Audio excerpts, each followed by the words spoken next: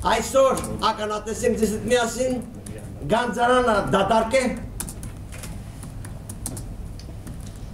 երկրի ներքին քաղաքական կյանքը ուղղակիորեն ասած սառեցված մեռած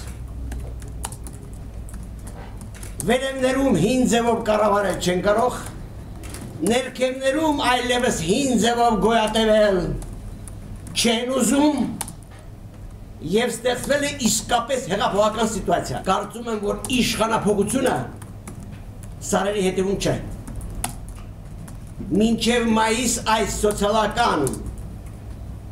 քննած հրաբուխը կժայթքի այսպես շարունակել երկրի հետ վարվել չի կարելի։ Եթե նույնիսկ դուք ասում եք, թե քաղաքական կատալիզատորներ հանդիսացող լիդերներ չկան, ապա այդ լիդերները կծնվեն։ Եթե իշխանապողության համար նոր անհատականություն, նոր լիդեր չնի, եթե այս ազգի արգանդը արդեն չորացել այն աշճան, որ արդեն նոր լիդերներ կարծում եք, որ չկան սխալում եք։ Եթե ոչ ոք լինի, չլինի, ես կամ ու կամ։ Այնպես որ ինչ մնում է իշխանության գալու հարցը,